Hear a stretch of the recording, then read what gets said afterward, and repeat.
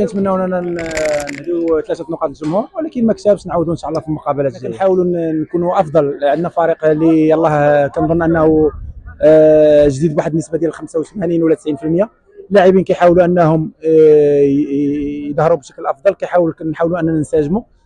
باقي عندنا واحد شوية الاكراهات نتمناو أننا نتغلبوا عليها في المباريات الجاية. دائما وكيساندونا كنتمناو أنهم دائما يكونوا معنا. عارفين أنهم معنا مع الفريق في السراء والضراء. نتمنى أننا نهديهم دائما ثلاث نقاط. أنا كنحاول أنني ندير الواجب ديالي في جميع المقابلات. أنا عارف بلي علينا مسؤولية كبيرة. كنظن أننا كنحاولوا نشتغلوا أكثر فأكثر باش نظهروا بأحسن حلة.